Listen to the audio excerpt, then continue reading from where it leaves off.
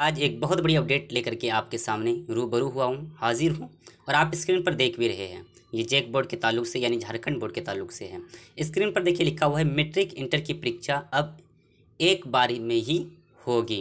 यानी कुछ स्टूडेंट्स के लिए खुशी की भी खबर है और कुछ स्टूडेंट्स के लिए दुख की भी खबर है। यानी पहले जो फैसला लिया गया था, ये था कि वो दो टर्म में एग्ज़ाम होना था, मेट्रिक व इंटर का, और टाइम भी फिक्स हो गया था कि नवंबर में एग्ज़ाम एग्ज़ामिनेशन होना है और ला दूसरी टर्म का जो एग्ज़ाम होना था वो मार्च में होना था। लेकिन आज की ये ताज़ा फैसला भी है और ये ताज़ा ताज़ा अपडेट भी है जो सबसे पहले आपको मिल रही है कि मेट्रिक इंटर की परीक्षा अब एक ही बार में होगी। ये शिक्षा मंत्री का फैसला है। यहाँ आप देखिए नवंबर से शुरू होनी थी पहले टर्म की परीक्षा। झारखंड सरकार पहले दो टर्म में आठवीं से बारहवीं तक की परीक्षा लेने का फैसला लिया था। इसी आधार पर ऑनलाइन आवेदन पत्र भी भरे जा रहे हैं।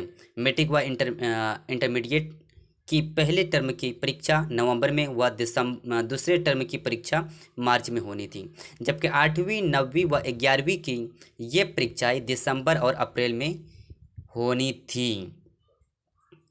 तो मेट्रिक इंटर समेत आठवीं, नवीं व ग्यारहवीं की परीक्षा एक टर्म में ही होगी। शिक्षा सचिव को पत्र भेज दिया गया है। उनकी ओर से अधिक सूचना जारी कर दी जाएगी। छात्र छात्र छात्र छात्राओं के हित व शिक्षकों की सुविधा के लिए ये फैसला लिया गया है। ये आपका अपडेट था। इसी तरह और भी ताज़ा अपडेट पाने के लिए हमारे चैनल को सब्सक्राइब करें।